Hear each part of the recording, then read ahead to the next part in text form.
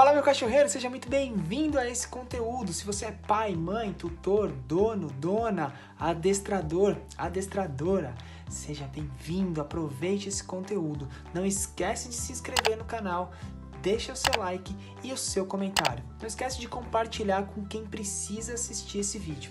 Muito prazer, eu sou o Rafa Leixo, sou adestrador e comportamentalista e eu ensino pessoas iguais a você a adestrar e educar os seus cães. Bora pro conteúdo?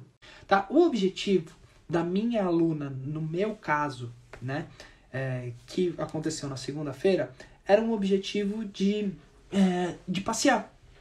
Ela, Rafa, o meu cachorro aqui, o meu caso, é o seguinte: é, eu não consigo passear com o meu cachorro. Na verdade, eu consigo passear, mas a cachorra tá puxando tal, e não sei o que. E aí, vamos lá, né? Qual, o que, que eu quis passar para ela? Bom, beleza, entendi o principal objetivo. Se eu entendi o principal objetivo, o que, que você precisa fazer para resolver esse principal objetivo? E aí eu perguntei para ela: você acha que fazendo os treinos de obediência, senta, deita, fica e aqui, você vai resolver do seu cachorro é, andar ou não te puxar durante o passeio?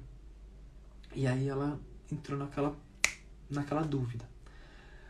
Por que, que eu plantei essa dúvida na cabeça dela? Para quê? Para que ela pensasse que existe uma coisa que vocês precisam gravar, galera.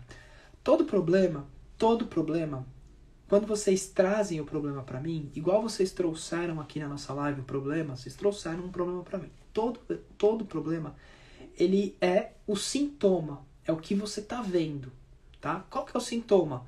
É o sintoma que você tá vendo ali. Então, o que, que você tá vendo? Vamos supor, é, tô com dor de cabeça.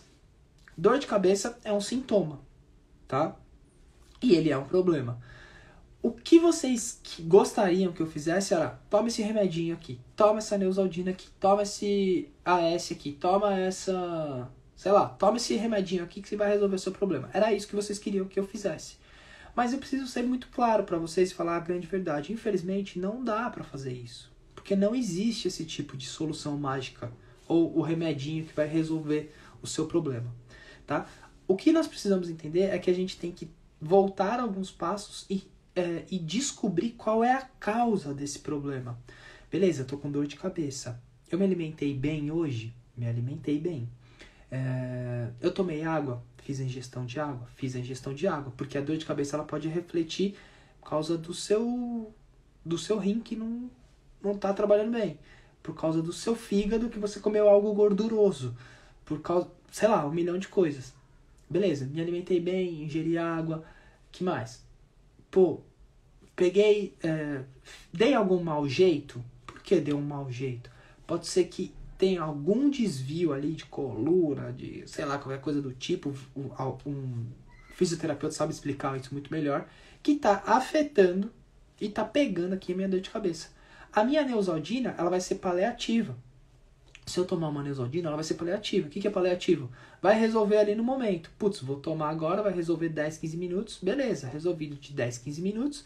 Uma hora, duas horas, sei lá quanto tempo. Daqui a pouco esse negócio volta tudo de novo. Voltou tudo de novo, o que, que vai acontecer? Quando volta, dor de cabeça tudo de novo. E aí eu vou lá e vou me medicar duas vezes, ao invés de ir atrás de resolver o problema. Se é um problema é, articular, vamos chamar assim, né? O que eu preciso fazer? Preciso fazer um RPG, preciso fazer uma fisioterapia, preciso fazer algo, né? Que vai resolver esse problema e não ficar me entupindo de remédio, tá? Então, uma das coisas que precisa ficar claro para vocês. Às vezes vocês tentam resolver o problema de vocês, que é um problema com uma causa mais complexa ou mais difícil, tá? Tomando Neusaldina. A Neusaldina não vai resolver o problema de vocês. O que vocês têm que entender é que tem que descobrir a causa. Descoberto a causa, a gente vai tratar dessa causa para resolver o seu sintoma. Então, no caso, né? Por que, que eu expliquei isso para vocês? Porque é muito importante que vocês entendam o passo a passo do jogo. É isso aqui, e, e a forma como eu passo dentro do manual do cão é para que vocês tenham capacidade de vocês mesmos treinarem os próprios cães de vocês, tá?